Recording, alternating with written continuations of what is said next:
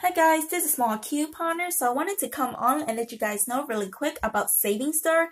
So I did receive a an email from Saving Star, um, I think a couple of days ago, and I just opened it today. So they are um, shutting down on November 30th, 2020 because coupons.com, I think they purchased them. So they are part of coupons.com now and they are eliminating the Saving Star because, you know, coupons.com and Saving Star are now one.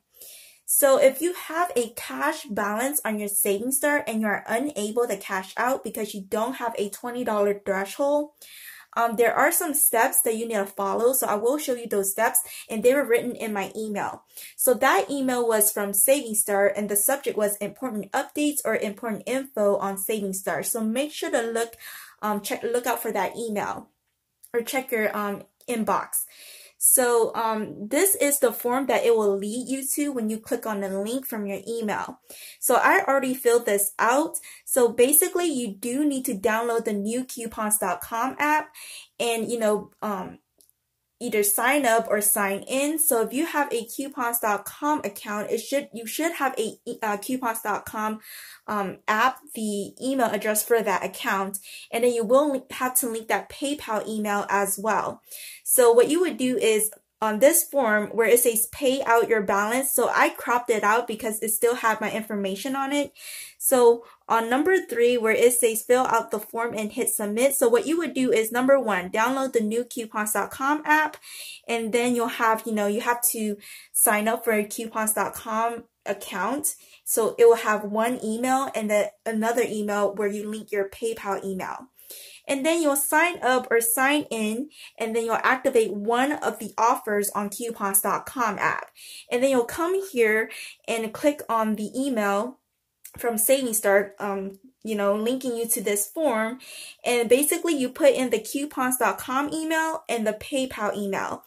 And then you'll hit hit the button to submit it and it'll update that info. So I think by December 31st, they will, you know, transfer that amount from Saving Star to the coupons.com app so that that balance would transfer over if you don't have that $20 threshold yet. So this is what this was from my email. So how to get a credit in the amount of your cash balance. So as a Value Saving Star customer, we are pleased to offer you a one-time balance transfer to coupons.com. So follow these steps by November 30th, 2020. So you must do it by November 30th or you will lose everything. So make sure to do this by uh, November 30th. So what you would do is download the new coupons.com app and then you will sign into your coupons.com account or sign up if you don't have one. So basically, they only require you to have an email address as of now. So you don't need a password or anything like that. So it's only an email uh, email address. And then you will link your PayPal account to your coupons.com account. So your PayPal email that you use. And then you'll log into your Savings Star account. So you could do that on a desktop I, I think I recommend to do it on a desktop because that's what I did and submit this form. So click on this link and it will show you the form that I show you at the beginning of the video. So it will ask you to provide us the email from your coupons.com account and the PayPal account. And I think that will be it. So and then you'll act activate at least one of the new offers or new cashback offers from the coupons.com app.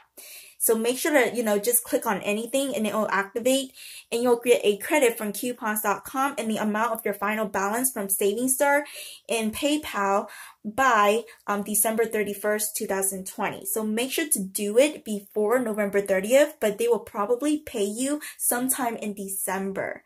So that is it for me. Thanks for watching. Bye.